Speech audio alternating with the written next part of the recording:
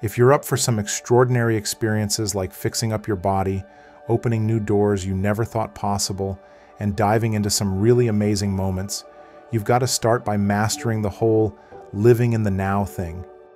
People talk about it a lot, being present and all. Most folks get the gist, don't dwell on tomorrow or yesterday. But I'm here to flip that understanding on its head. To really grasp this idea, you've got to go beyond your physical self, your identity, and even time itself. That's where the magic happens. Because let's face it, if you're stuck in who you think you are and how you think the world ticks, you're not going to make room for something new and mystical to take charge. So, let's talk brains. When your brain or body gets going, it sets your mind in motion. Think of it like different gears for different tasks driving, showering, jamming out to tunes, each with its own brain mode. And because you've done these things a gazillion times, your brain knows the drill. It's like a bunch of neurons throwing a party together, wired up tight from all that practice. So when you hop in your car, for instance, it's like flipping a switch for that specific brain groove. But your brain's mostly a creature of habit, shaped by your past experiences. It's like a living scrapbook of everything you've seen and done so far. Before we start and before you learn how to brainwash yourself for success, please subscribe to my beautiful channel and never miss our new life-changing videos. Let's break it down from a whole new angle. Picture this. Your brain's like a bustling city with neurons as the busy citizens. When you're learning, these neurons team up to create a bunch of connections, kind of like building roads between different parts of the city. And these connections? They form these intricate networks, almost like a 3D blueprint of the city. Now, when you're really paying attention and something clicks, it's like your brain gets a software update. Your brain's basically saying, hey, this info's important.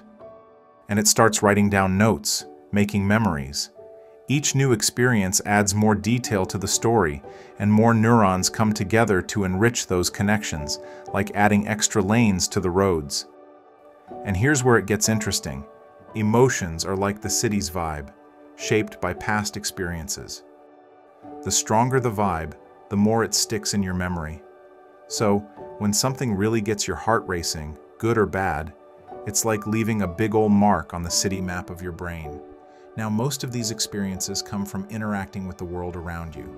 Your senses are like the city's antennas, picking up signals from the environment and writing them into the brain's diary. So when something really hits you in the feels, it's like etching that moment into the city's skyline, making it a part of your mental landscape. The only place the past really lives is in your brain and body.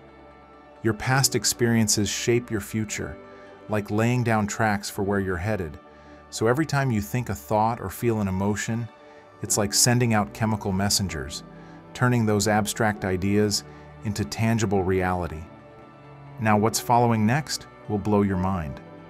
Think of your brain as a control center and your body as its trusty sidekick. When you think a thought, your brain sends out chemical signals that make your body feel exactly the way you're thinking. It's like a feedback loop.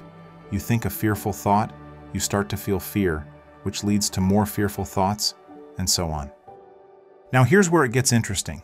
If you keep thinking the same thoughts, you're basically programming your brain to keep firing in the same patterns your brain becomes like an old record stuck on repeat, playing the same tunes over and over.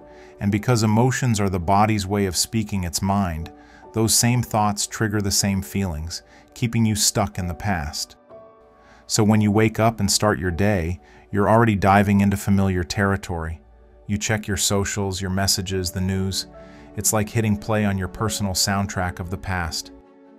Let's be honest. I want you to be honest to yourself and the world, and to admit to yourself what's your worst habit that you want to change when you wake up in the morning. Think carefully and share it in the comment below. I assure you it's not so different than the habits of other people. All it takes to change is a little discipline. So write down the habit you don't like and compare it to others. And if those familiar feelings start driving your decisions and actions, well, you're just playing out the same old script. But you can rewrite that script by choosing to think differently, you can break free from the cycle and create new experiences for yourself. It's like flipping the record and starting a whole new groove. So next time you catch yourself in that loop, remember, you hold the pen to your story. Picture this. You wake up and start your day by diving into your usual routine. You brush your teeth, hop in the shower, get dressed, then head for the kitchen for your morning fix. Maybe you catch up on the news or scroll through your emails. It's all part of the same old song and dance you do every day. Next stop, work. You take the same route, greet the same faces, and tackle the same tasks as yesterday. It's like hitting replay on a movie you've seen a million times, and when the day's done, you drive home, pick up groceries, cook dinner, and settle in for your evening ritual.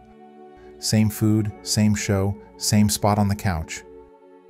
As you wind down for bed, you follow the same bedtime routine, almost like clockwork. Brush your teeth, crawl into bed, maybe read a bit, then drift off to sleep. It's all become second nature, like your body's on autopilot. But all these routines, these habits, they're like grooves worn into a record. Your body knows them inside and out, almost better than your brain. And when you keep repeating them, day in and day out, you're essentially living in the past, replaying the same script over and over. So, if you look at the timeline of your day, it's like yesterday and today blur together into tomorrow. Your future starts to look a lot like your past, because, let's be real, if you keep doing the same thing, you're bound to get the same results. It's like Groundhog Day, but without the funny bits. Brace yourself because you're about to learn how to brainwash yourself. Let's flip the script on your routine. Your yesterday?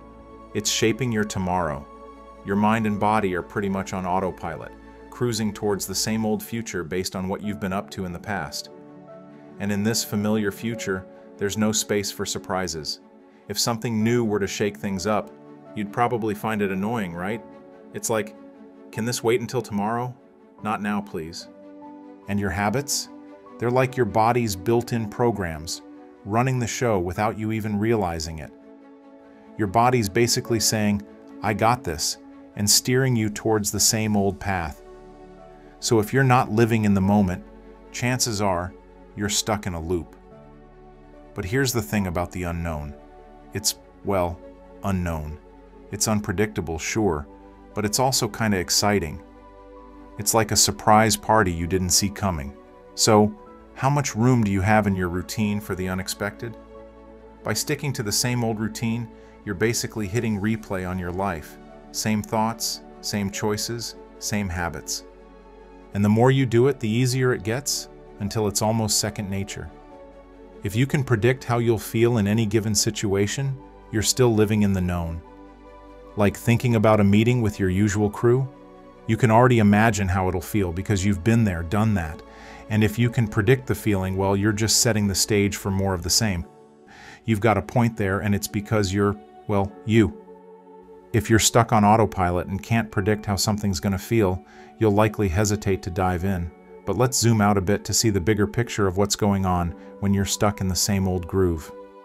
This whole thinking feeling loop, it's not just in your head, it actually creates this electromagnetic field around your body. You're basically emitting vibes that carry a specific message. And guess what? You're also picking up vibes from others.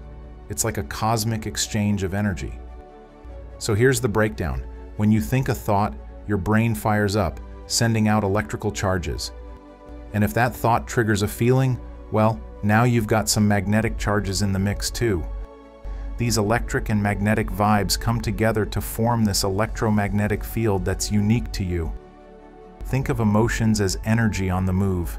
Ever walked into a room and instantly felt someone's vibe? That's their energy at work. And different vibes carry different frequencies. Like love and joy, they're up there, while stress vibes like fear and anger, not so much. And here's where it gets interesting.